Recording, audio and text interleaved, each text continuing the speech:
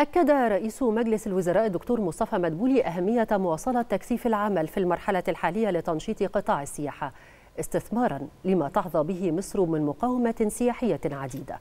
وخلال اجتماع مع وزير السياحة تابع مدبولي عددا من ملفات عمل الوزارة خلال المرحلة الحالية. كما شهد الاجتماع الإشارة إلى أنه تم وضع خطة متكاملة لزيادة قدرة القطاع الخاص على الحوكمة والتأثير في سياسات الإنفاق على التسويق والترويج. وكذلك الانتهاء من إعداد اللائحة التنفيذية لقانون إنشاء غرف سياحية وتنظيم اتحاد لها